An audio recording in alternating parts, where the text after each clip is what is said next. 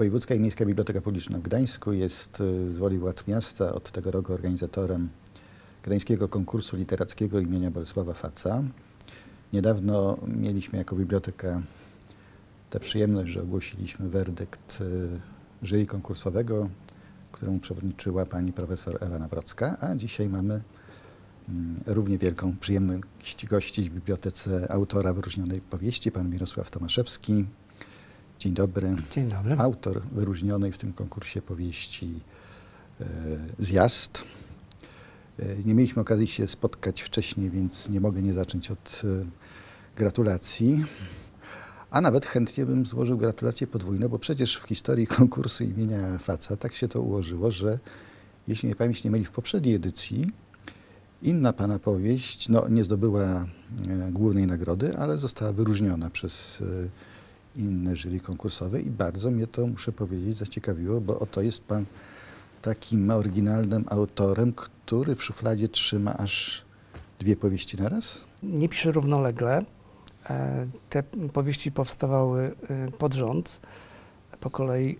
E, Pierwsza załoga, która jest wcześniejszą, zapisem wcześniejszych losem, losów tych samych bohaterów. A, czyli te tak blisko brzmiące tytuły, jak w filmach Machulskiego, Załoga i Zjazd, y, oznaczają też związek treści bohaterów, opowieści. Tak, tak, to są dwie odręb, dwa odrębne byty, które projektowałem jako książki zupełnie niezależne, możliwe do czytania e, zupełnie odrębnie i bez e, znajomości poprzedniej czy, czy późniejszej, ale zajmują się losem tych samych ludzi, który mm, e, jest przemielony przez 19 lat przerwy.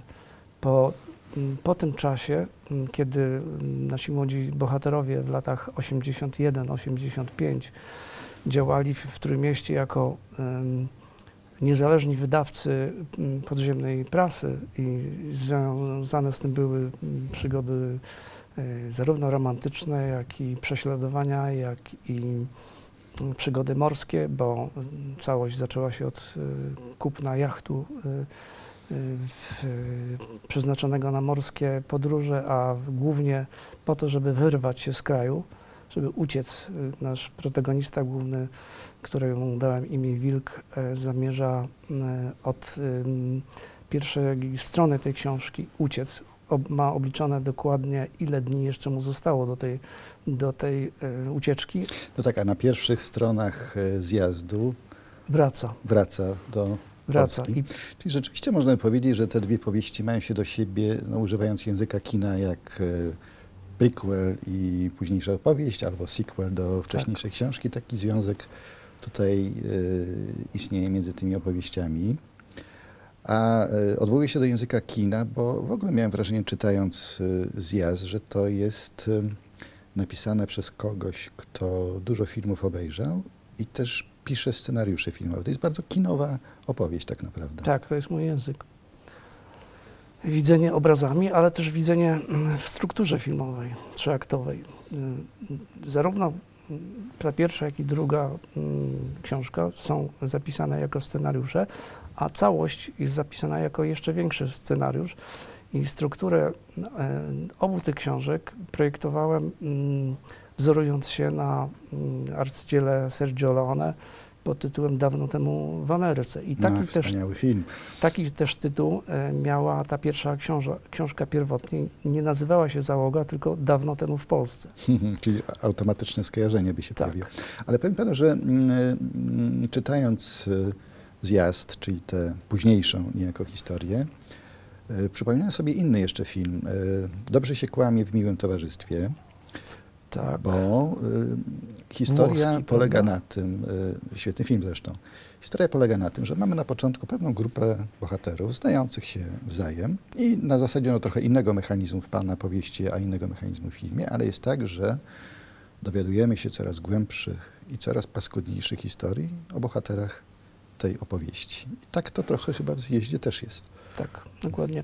Drugą część poświęciłem na wyjaśnienie, po pierwsze, tajemnic, które zostały w pierwszej książce zachowane. To znaczy, chciałem, żeby czytelnik nie miał wrażenia zachowania tych tajemnic, żeby traktował to jako zamkniętą całość. ale w drugiej części okazuje się, że nie jest to takie proste i pod y, taką naskórkiem tych zdarzeń, które się y, wydarzyły wcześniej, y, jest jeszcze coś innego i paskudnego. Ci, I paskudnego. I ci, którzy uchodzili za dobrych, okazują się źli i na odwrót. Bo mają na przykład epizod no, współpracy Dokładnie. z wiadomymi instytucjami z SB. I tak. ta prawda wypływa na wierzch w drugiej części tej opowieści, czyli w zjeździe właśnie. Jeszcze dodam, że, że właśnie tak było w, dawno temu w, w Ameryce, gdzie y, główny bohater wraca do Nowego Jorku po kilkudziesięciu chyba latach przerwy i spotyka się tam między innymi z senatorem. Mm -hmm. U mnie jest to kandydat na prezydenta. Tak. I jest mowa o mm, romantycznym uczuciu łączących obu tych bohaterów i o dziecku, które jest niesłychanie podobne do jednego z nich. Mhm. Te, te wątki y, spróbowałem wykorzystać oczywiście na swój polski sposób, zamieniając działalność mafijną amerykańskich y, Y, młodocianych rzeźmieszków na, na działalność w podziemiu. Na działalność w podziemiu, ponieważ niczym więcej światu nie zaimponujemy, jak tym, co dokonaliśmy w latach 80-81, no i, i później, prawda? Y, no więc skoro mm, o latach 80. rozmawiamy, to chcę powiedzieć o jeszcze jednym skojarzeniu, już nie z kinem, a ze stradą, które narzucało mi się niemal co stronę pańskiej książki. Jacek Kaczmarski, co się stało z naszą klasą. Ta piosenka, którą całe młode podziemie, ci brodaci w kraciastych koszulach i rozciągniętych swetrach ludzie śpiewali przywódcę na każdej imprezie właściwie. To nie jest taka opowieść właśnie, co się stało z naszą tak, klasą? Jest jeszcze jedna analogia, e, tylko nie wiem, czy dobrze zacytuję tytuł, e, sztuka Tadeusza Słobodzianka, chyba Nasza klasa się to właśnie nazywało i dotyczyło y, klasy gdzieś pod, na Podlasiu. Tak, tam oczywiście były inne problemy w tle, polsko-żydowskie jako wątek dominujący. Y, no ale mm, wracając do Pana opowieści, czy wobec tego nie możemy mm, powiedzieć, że to jest y, historia generacyjna w dużym stopniu? Tak że właśnie to pokolenie przeszło dokładnie przez tę historię, którą Pan opowiada. Siedzieli w podziemiu, nawiązywały się przeróżne relacje, przeróżne historie, te paskudne również się potworzyły. Po 1989 roku raptem świat otworzył się e, we wszystkie kierunki. Ci, którzy wyjechali, wracali bądź nie, no w każdym razie, że mm, pańska powieść opowiada historię tego pokolenia. E, pan osobiście też jakoś przecież temu chronologicznie, jeśli patrzeć na Pana metrykę, no jakoś tam towarzyszył. E, no tak. Nie, nie byłem czynnym e, członkiem podziemia, nie działałem e, w opozycji, chociaż moja rodzina tak.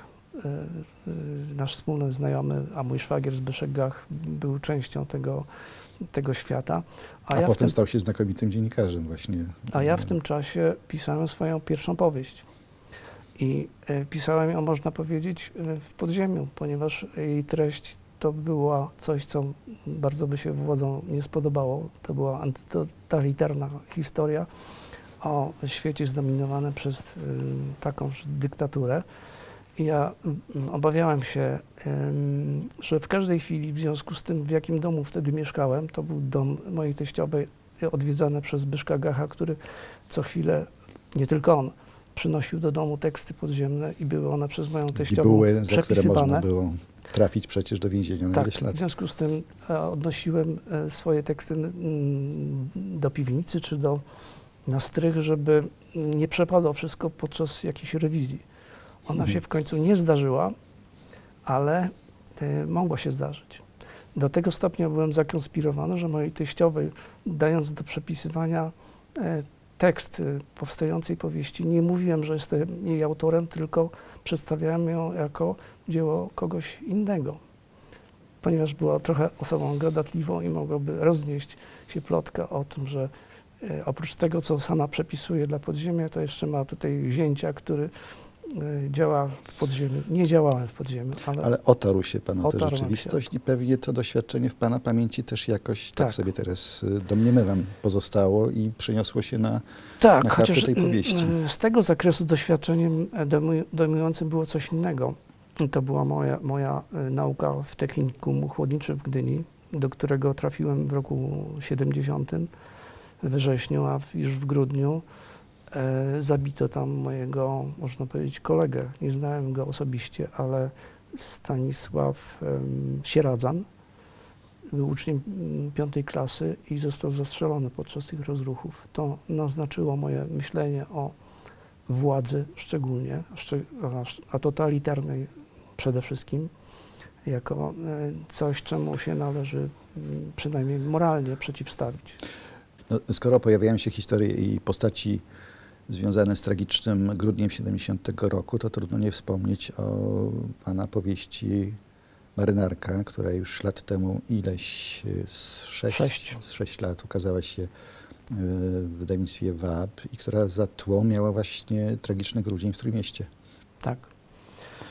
To była inspiracja e, z tego wydarzenia, które dotknęło mnie jako młodego człowieka, na którym wszyscy chcieli zapomnieć w tamtym czasie. Pamiętam te wesołe apele m, kilka dni po tragicznych wydarzeniach, ale wiem, że to zostało na dłużej i odżyło po kilkudziesięciu latach w sumie jako rzecz e, niezbędną do powiedzenia w ramach określania swojej tożsamości jako autor i obywatel Trójmiasta, szczególnie Gdyni.